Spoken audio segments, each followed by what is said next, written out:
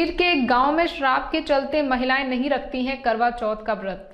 कस्बा सुरीर के मोहल्ला बगा में सती के श्राप के चलते आज भी महिलाएँ करवा चौथ का व्रत नहीं रखती और न ही श्रृंगार करती हैं। चाँद तो पूरे जोश के साथ चमकेगा, लेकिन सामाजिक कठिनाइयों और परंपराओं के चलते चांदनी पर मायूसी छाई रहती है। कस्बा सुरीर के मोहल्ला बगा में लंबे अरसों से चली आ रही परंपरा के कारण नव को अपने सुहाग की दीर्घायु की खातिर व्रत न रखने का मलाल रहता है। नव की तमन्ना थी की पहली करवा चौथ पर पति के लिए निर्जला व्रत रखेंगी। सोलह श्रृंगार कर अपने चाँद का दीदार करेंगी, लेकिन सती के श्राप के चलते वे ऐसा नहीं कर पाती। मोहल्ला बगा में करवा चौथ न मनाने के पीछे एक कहानी है। करीब 200 वर्ष पहले गाँव रामनगला नौजील का युवक अपनी पत्नी को ससुराल से विदा कराकर सुरीर के रास्ते भैंसा बुग्गी से गाँव लौट रहा था। तभी सुरीर में कुछ लोगों ने उनकी भैंस बुग्गी रोक ली और भैंसों को अपना बताते हुए विवाद शुरू कर दिया। विवाद में उस युवक की पीट पीट कर हत्या कर दी। अपने सामने पति की मौत से कुपित नवविवाहिता मोहल्ले के लोगों को श्राप देते हुए वही सती हो गई। सती के के श्राप के चलते मोहल्ले में अनहोनी शुरू हो गई। इसी सती का श्राप कहें या विलखती पत्नी का को पहर यहाँ पर नई विवाहित महिला विधवा हो गई। इसे देखकर बुज़ुर्गों ने इसे सती का श्राप मानकर गलती के लिए क्षमा मांगी। तभी से यहाँ कोई महिला करवा चौथ और अहुई अष्टमी मनाना तो दूर इस दिन श्रृंगार भी नहीं करती हैं और तभी इस मोहल्ले में सती का मंदिर बनवाया और पूजा अर्चना शुरू की। आज भी यह नित्य प्रतिदिन महिलाएँ पूजा अर्चना करने आती हैं और आज भी इसे मोहल्ले के युवक शादी रचाने जाने से पहले सती की पूजा करते हैं। उधर रामनगला, नौहजील के लोग शरीर का पानी तक नहीं पीते। अमित अग्रवाल मथुरा समाचार 24 सुनहरी है और वैर गाँव में मेरो। शरीर में जो है। शरीर में बस रही हूँ। अच्छा अच्छा। और तो भैया कब ना तो हम बढ़ती रहे ना का वो छई छोरी दियो हमने। सत्ती की आने हमारे।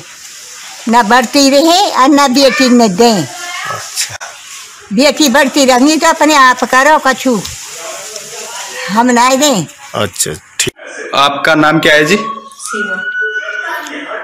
आपको कैसा लगता है जब यहाँ पे आपको पता चला होगा कि यहाँ पे करवा चौथ नहीं मनाई जाती है तो फ़र्स्ट टाइम जब मुझे पता चला था बहुत गंदा फील हुआ। एक्चुअली मैं गाँव में जब देखती थी कि मतलब कि भाभियाँ जैसे कि आंटी वगैरह करवा चौथ का व्रत मनाती तो बहुत अच्छा लगता था क्योंकि बहुत ज़्यादा फॉर्मेलिटियों से अच्छे तरीके से मनाती थी।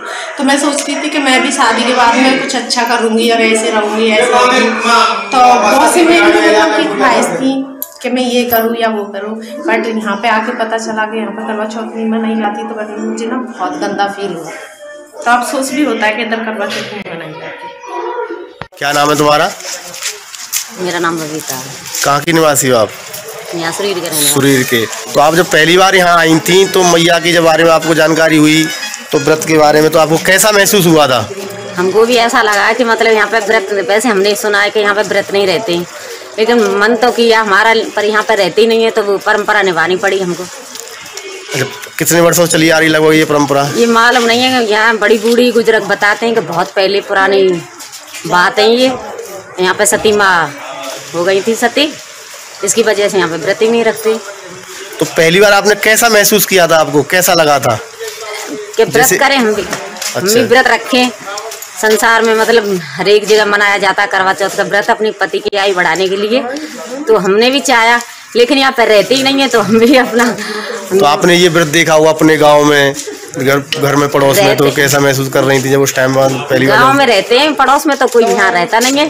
दो तीन मतलब परिवार हैं वो रहते ही नहीं है नहीं नहीं आपके गाँव में जब पहली बार आप यहाँ आई थी जब पहली शादी से पहले जब आपने अपने घर पर देखा हुआ? तो शौक सा तो चढ़ा लेकिन फिर करें क्या? नहीं रह पाए यहाँ पे मन मार के रह गए। ठीक। मथुरा